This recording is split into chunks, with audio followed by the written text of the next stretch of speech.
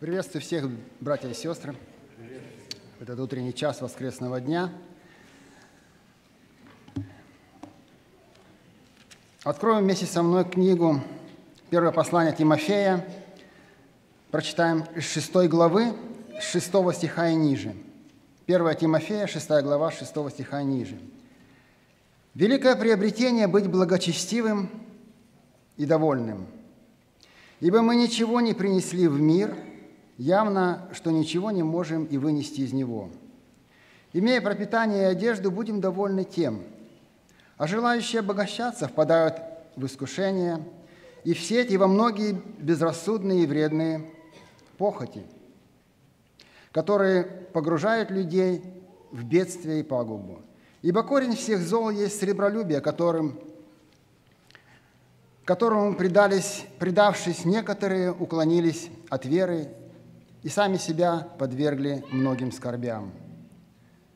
Ты же человек Божий, убегай сего, а преуспевай в правде, благочестии, вере, любви, терпении, кротости. Подвязайся добрым подвигом веры, держись вечной жизни, которой ты и призван, и исповедал доброе исповедание пред многими свидетелями.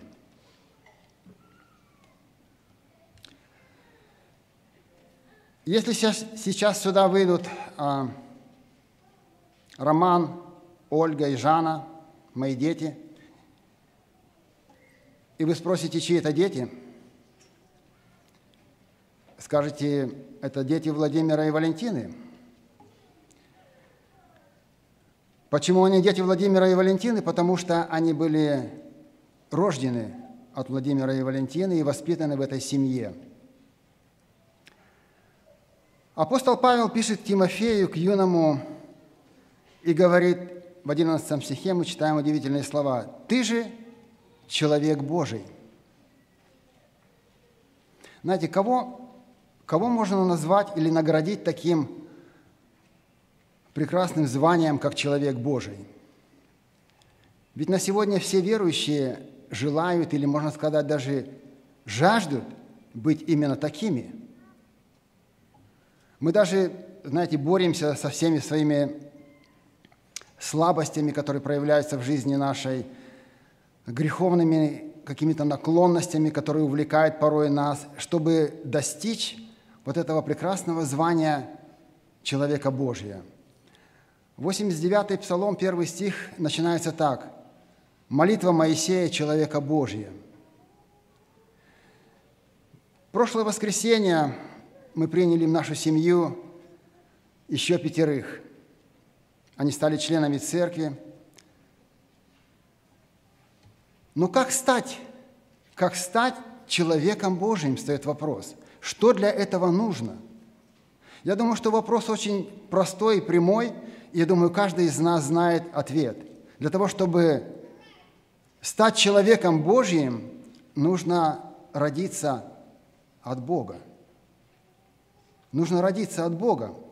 Евангелист Иоанн в первой главе, с самого начала мы читаем в первой главе с 12 и 13 стихи, он говорит такие слова. «А тем, которые приняли Его, то есть Христа, верующим во имя Его, дал власть быть чадами Божьими, которые не от крови, не от хотения плоти, не от хотения мужа, но от Бога родились». Мы зададим вопрос, а как это произойдет?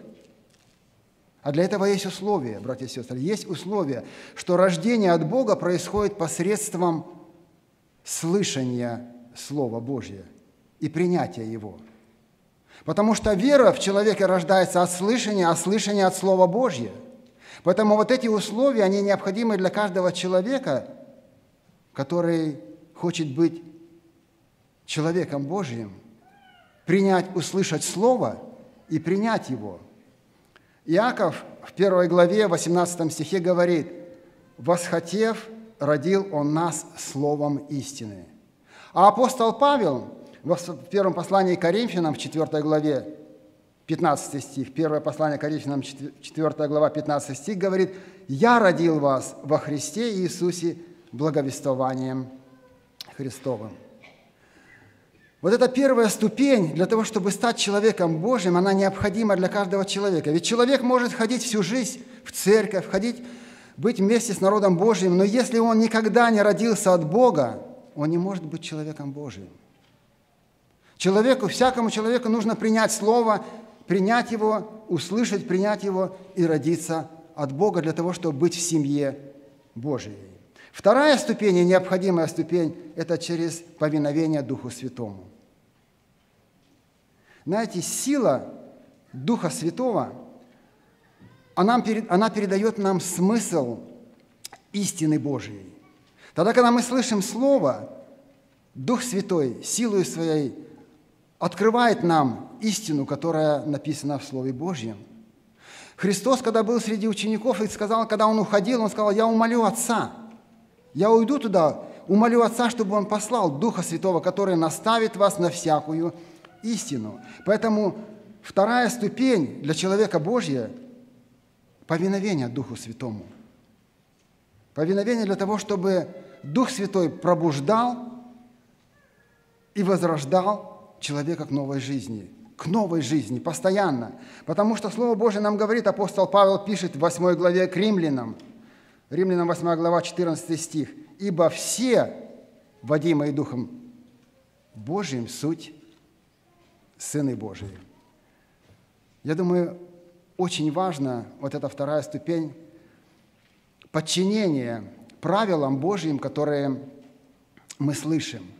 Подчинение правилам Божьим, они необходимы точно так же, как а, температурный режим для яйца, в котором заложена жизнь.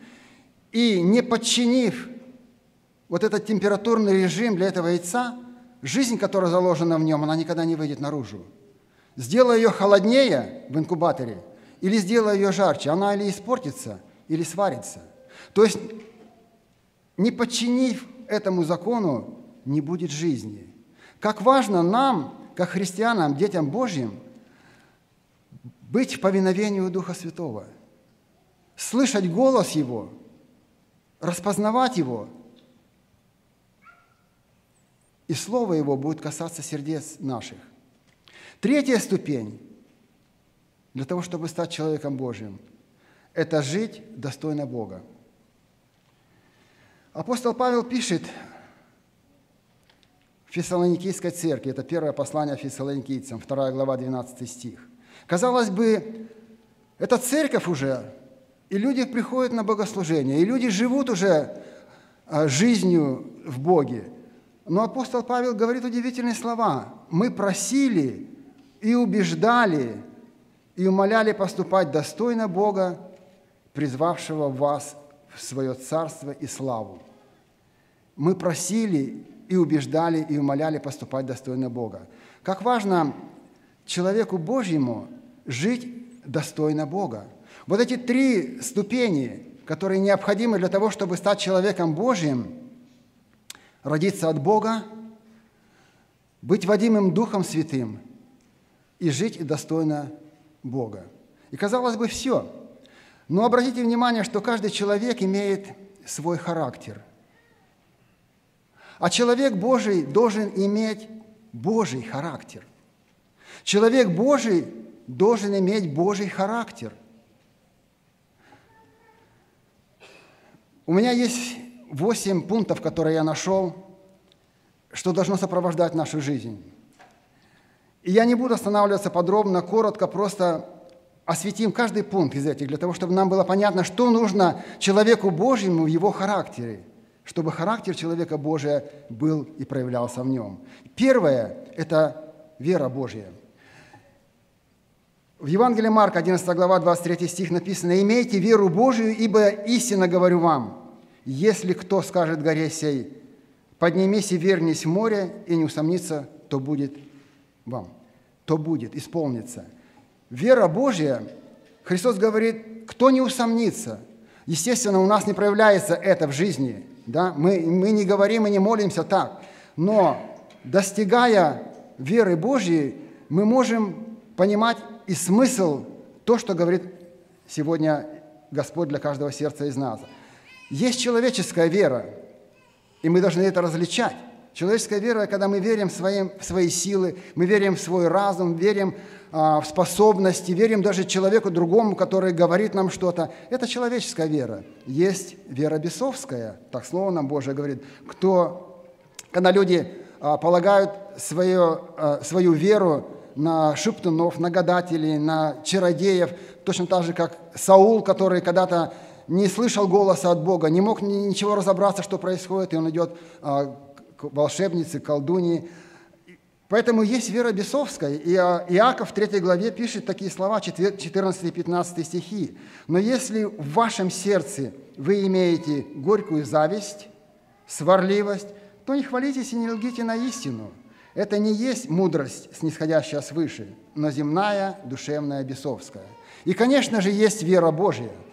Вот из этих количества всех веры. Вера Божья, которая основана на чистоте евангельского учения – на Божьем водительстве, Божья вера. Я думаю, это первая ступень, которая должна быть в характере человека, иметь Божью веру. Второе – это иметь Божьи мысли. Слово Божье нам конкретно говорит, и Господь сказал через пророка Исаия, Он говорит, «Мои мысли, не ваши мысли, и ваши пути, не ваши пути, пути мои, говорит Господь.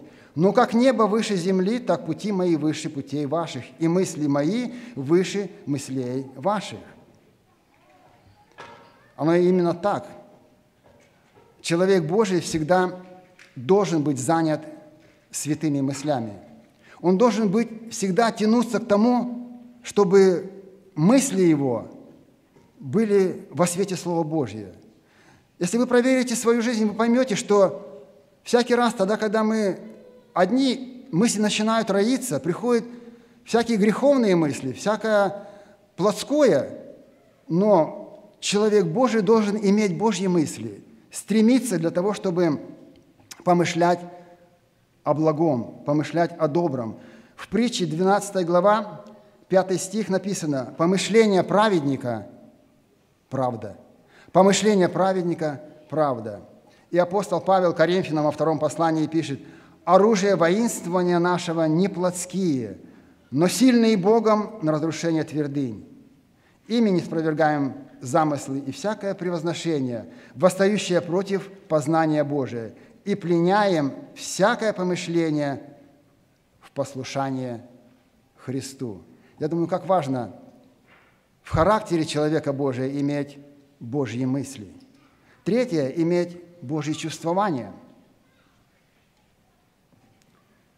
Зададим вопрос, а какие же они, Божьи чувствования?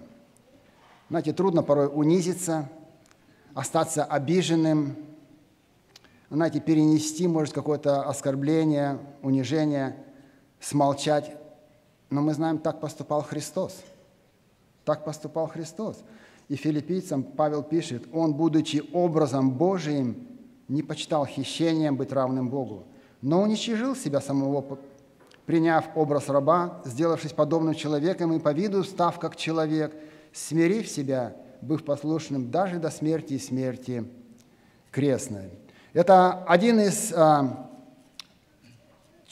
одна из, черт, из, из тех направлений или та черта в характере человека Божия, которая должна быть, иметь вот эти чувствования Божьи. Еще один из а, пунктов, которые есть, это иметь желание Божье. А мы знаем, что желание Божье, которое есть, которое хочет, чтобы все люди спаслись и достигли познания истины. Апостол Павел пишет Тимофею во второй главе 4 стихе, который хочет, чтобы все люди спаслись. Поэтому желание человека Божьего, оно должно быть увидеть человека, который рядом со мной, и если он еще в мире в этом и не спасен – чтобы заботиться о спасении, о спасении всех людей, всех грешников, которые окружают нас. Еще один пункт – это стремиться к совершенству. Поэтому Христос в Нагорной проповеди сказал, 5 глава, 48 стих, «Итак, будьте совершенны, как совершен Отец ваш Небесный». Шестой пункт – это поступать как Бог, как Он поступает – а мы знаем, что Христос, когда здесь находился на земле, Он льна курящего не угасил, и трости надломленной не преломил. Вот это в характере человека должно возрастать посредством работы Духа Святого. В Нагорной проповеди мы читаем 5 глава 9 стих. Он является миротворцем. Это маленькое, но как много оно играет значение, когда в жизни христианина этот характер, эта черта проявляется – быть миротворцем. Когда где-то какая-то вспышка – быть миротворцем. Ну и последнее – это отдавать Божье Богу. Как в материальном, так и в духовном, чтобы человек научился отдавать Божье Богу. Давид в первом Паралипоменон, 29 глава, 1 Паралипоменон, 14 стих, он говорит, когда уже пришло старость, когда уже Соломону нужно было воцариться, когда Давид уже приготовил все для того, чтобы для храма, для построения храма, и у него все было, и он говорит, «Ибо кто я и кто народ мой, что мы имели возможность так жертвовать? Но от Тебя все, и от руки Твоей полученное мы отдали Тебе». Как важно это иметь в характере человека Божия. Мы сегодня слышали перед началом Слова Божьего, что все суета и сует. И всякий человек, который набирает и скапливает все здесь, другой будет этим пользоваться. Нечестивый собирает, а праведник пользуется. Как важно быть человеком Божьим, родиться от Бога в семье Его, воспитываться – посредством Духа Святого и быть послушным и повиновении Богу. И иметь вот эти качества в характере человека Божьего, характера Божьего. Пусть Господь благословит нас размышлять над этим, чтобы мы могли сказать на любого из нас, кто приходит в дом молитвы, это человек Божий. Пусть Господь прославится в жизни нашей и в этом. Аминь. Помолимся.